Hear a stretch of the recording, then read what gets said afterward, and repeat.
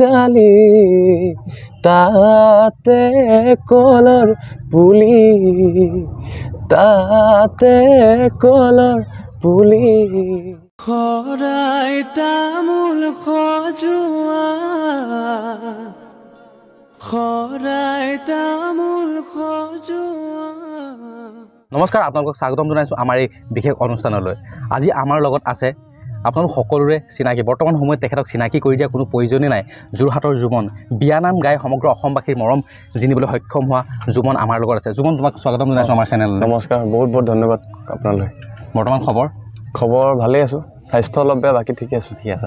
বাকী অসমবাসীয়ে বহুত মৰম দিছে। অঁ সেইটো কাৰণে ভাল লাগিছে আৰু সেই অসমবাসীৰ ভিতৰত আপোনালোকো এজন আছিলে হয়। যিমানকেইজনে চালে আৰু তেনেকৈ হয়তো চোৱাৰ কাৰণে আজি আপোনালোক মোৰ ওচৰত মানে মই আপোনালোকৰ লগত আজি কথা পাতিবলৈ পাইছোঁ সেইটো মোৰ কাৰণে বহুত কিবা ডাঙৰ কথা আচলতে জুমনৰ বিয়া নামটো যেতিয়া ভাইৰেল হৈছিলে তেতিয়া পোনপ্ৰথমে আপোনালোকক যোগাযোগ কৰিছিলোঁ লগ পাবলৈ বিচাৰিছিলোঁ। কিছুমান অসুবিধাৰ কাৰণে লগ পাব নোৱাৰিলোঁ। অলপ দেৰিয়ে হৈছে লগ পোৱা। তেতিয়াই নাই একো নাই আকৌ মোৰ ৰিচেণ্ট যিটো গান চলি আছে তাইটোতো দুদিন হৈছে। সেইটো আজি পৰ্যন্ত আঠ লাখ ভিউজ ক্ৰছ কৰিছে দুদিন। বিয়া অঁ ৰিচেণ্ট দিছিলোঁ মই। শুনিছিলোঁ ৰাইজে এতিয়া মানে মোৰ মতত বিয়া বিহু গীত শুনিলেও বিয়া বিয়া কৈ পেলাই মানে মই এতিয়া সেই বিয়া গাবলৈহে ল'লোঁ আৰু। জুমন তেনেকুৱা হৈছে। বিয়া নাম বুলি এতিয়া তোমাক মাতিবলৈ লৈছে কিছুমানে। জুমন। বুলি ক'লে মানে পটককৈ যি কওঁ আজিয়ে মই মোৰ কেইজনমান বন্ধু কৈছোঁ জুমনৰ ওচৰত যাম। বিয়া নাম নেকি? মই নহয় বিয়া নাম। অঁ, হয় সেইটো ভাল লাগে। নিজে এটা পৰিচয় দিছে মানুহে অসমবাসী ৰাইজে। অকল বিয়া নামেই কোৱা নাই আৰু? মই চব গাওঁ মই খালি অকল হিন্দী গাব নাজানো। হিন্দী বাদ দি মই প্ৰায়খিনিয়ে গাবলৈ চেষ্টা কৰোঁ। বিয়া নামটো ভাইৰেল হ'ল। অঁ, বিয়া নামটো মানে বিয়া নামেই গোৱা নাছিলোঁ আজিলৈকে। বিয়া নাম সেই প্ৰথমবাৰ গাইছিলোঁ। প্ৰথমবাৰ বিয়া নাম গাইছিলে আৰু প্ৰথমবাৰ গাই প্ৰথমবাৰতে viral হ'ল। ৰাইজে মৰম দিলে বহুত বেছি। সেইটো কাৰণে মই আকৌ এবাৰ আপোনালোকৰ চেনেলৰ ফালৰ পৰা বহুত বহুত ধন্যবাদ জনাইছোঁ। বাকী জুমনৰ ঘৰৰ বিষয়ে জানো অলপ? মোৰ ঘৰ পশ্চিম যোৰহাট বৰষঙীয়া গাঁৱত এখন খুব সৰু গাঁও। সৰু গাঁওখন সৰু নহয় গাঁওখন বহুত বেছি ডাঙৰ। কিন্তু এটা ভিতৰুৱা অঞ্চল। আৰু বৰষঙীয়া অঞ্চলৰ পৰা মই ওলাই অহা আৰু মই মোৰ ঘৰত মা আছে দেউতা বা আছিলে বাক আহ, বিয়া দিয়া হ'ল যাৰ কাৰণে মই গানটো গাইছিলোঁ। বাইদেউক দুই অক্টোবৰ তাৰিখে বিয়া দিয়া হ'ল। এতিয়া আমি তিনিজন মা দেউতাত মই। বা বিয়া আছিল দুই অক্টোবৰ। দুই অক্টোবৰ তাতকৈ কেইদিনমানৰ আগত দহ দিনমানৰ আগত গানটো আগত। গানটো গাইছা। বাৰ বিয়ালৈ নৱেম্বৰ? নৱেম্বৰ বাইছ তাৰিখ মানে নৱেম্বৰ ছেপ্টেম্বৰ বাইছ তাৰিখ মানে গানটো গাইছোঁ মই। তেতিয়া প্ৰথম দিনাখন একো ৰিয়েক্ট নাছিলে বাৰু। মই ৰাতি দেৰিকৈ মই সদায় গানটো মানে মই সন্ধিয়া টাইমত মুকলি কৰোঁ মানুহ ৰাইজৰ মাজত। সদায় মানে পাঁচটা বজাৰ পিছত মই দিওঁ আৰু। তাৰপৰা মানে মই সেই গানটো দিয়াৰ পিছত পিছদিনাখন ফো- ফোন আহিছে আৰু দাদা কেইজনমানৰ পৰা বন্ধু বান্ধৱীক বোলে ফোন কৰিছে। সেইটো কাৰণে মই সেইটো কাৰণে মই কৰি দিছোঁ আৰু ৰাইজে মৰম দিলে খালি। যেতিয়া জানিছিলা যে মোৰ এটা গান ইমান ভাইৰেল হৈছিলে কেনেকুৱা লাগিছিলে? বহুতেই ভাল লাগিব কাৰণ এইটো এইটোৱে আশা আছিলে সকলোৰে যে আশা থাকে? অঁ যে মান- ৰাইজৰ মাজত গান গাম ৰাইজৰ মাজত থাকিম। আৰু মই আজিও কওঁ যে মই ৰাইজৰ মাজত থাকি ভাল পাওঁ মানুহৰ মাজত লগত থাকি ভাল পাওঁ। সেই আগলৈও তাকে সেই একে জুমন হৈ থাকিবলৈ বিচাৰোঁ জুমনৰ শিক্ষা? মোৰ শিক্ষা এল পি স্কুলটো মই টিংৰিমৰা প্ৰাথমিক বিদ্যালয়ত কৰিছিলোঁ। তাৰপিছতে মই হাইস্কুল কৰিলোঁ দহোটীয়া উচ্চতৰ মাধ্যমিক বিদ্যালয়। আমাৰ এতিয়া মানে দহোটীয়াত আছে।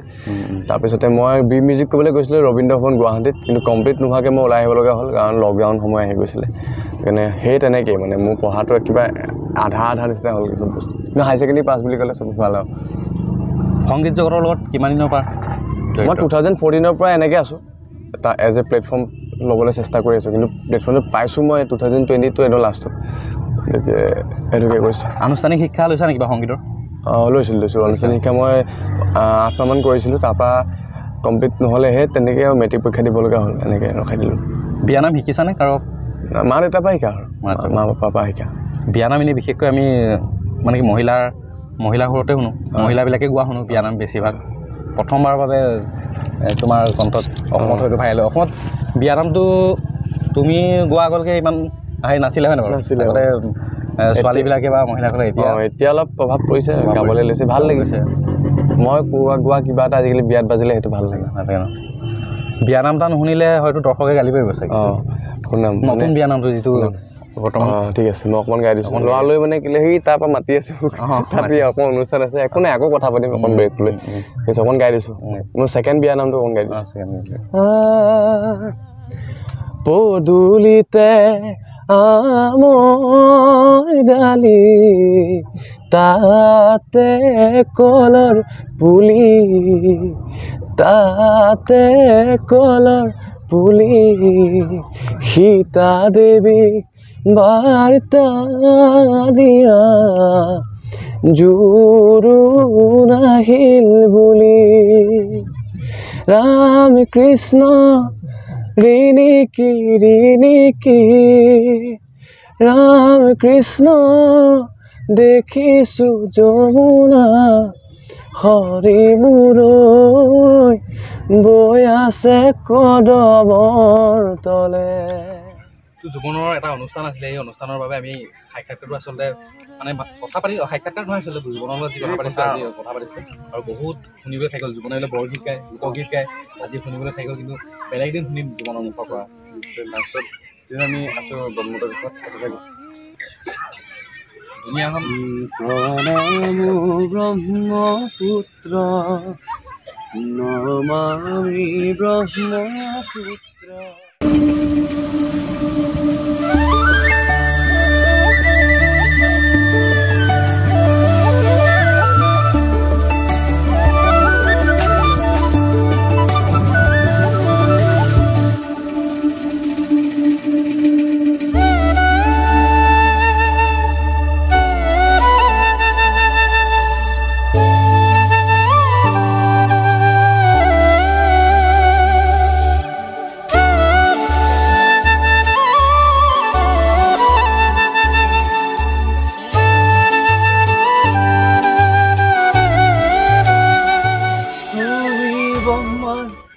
পুত্ৰ তুমি জীৱ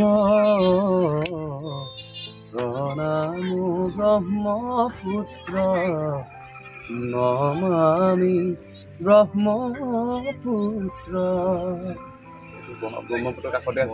বৰ ধুনীয়া সুন্দৰ ঠাই এখন আছে ৰিজৰ্টখনৰ নাম কি আছিলে? আৰু ৰিজৰ্টখন নাম আছিলে চাংপু। এটা আমাৰ ব্ৰহ্মপুত্ৰৰ আন এটা নাম চাংপু বুলি কয়। অৰুণাচলৰ ফালে বেছিকৈ কয় ত' দাদা আচলতে ধেমাজিৰ পৰা যে আহি আমাৰ ইয়াত এটা ধুনীয়া এটা মানে প্ৰতিষ্ঠান দিছে যোৰহাটত। তাকো নিমাতি আমাৰ ওচৰৰে হয়। আৰু তেনেকুৱা এটা অনুষ্ঠান আমি তেতিয়ালৈকে খুবেই ভাল লাগিছে। আচলতে এইটো প্ৰগ্ৰেম নহয় আচলতে আমাৰ। এনেই ধৰক জামিং টাইপৰ মানুহে আমাৰ মাতটো কাণত কওক তেনেকুৱা। মুখৰ পৰা তেতিয়া পাছত আমি আকৌ এবাৰ লগ পাম। জুবিন দাৰ গান জুবিন দাৰ গান তুমি খুব ভাল পোৱা। গীতো গোৱা লোকগীতো গোৱা তুমি। আজি ইমানতে বিদায় লওঁ। একদম। আৰু বহুত বহুত ধন্যবাদ আকৌ মোৰ ফালৰ পৰা। অসমবাসী ৰাইজক যিসকলে মোক শুনি আছে চাই আছে দেখি আছে মোকো আশীৰ্বাদ কৰিব আৰু ককাইদেউসকলকো। আৰু বহুত বেছি আশীৰ্বাদ কৰক অলৰেডি বহুতে মৰম দিছে আৰু মৰম পাওক। আৰু মোকো যাতে অকণমান সাহস দিয়ে। আৰু আগুৱাই যাতে আগুৱাই যাব সহায়। বহুত বহুত ধন্যবাদ। আকৌ এবাৰ জীৱনৰ লগত লগ পোৱা প্ৰতিশ্ৰুতিয়ে আজি ভিডিঅ'টো ইমানতে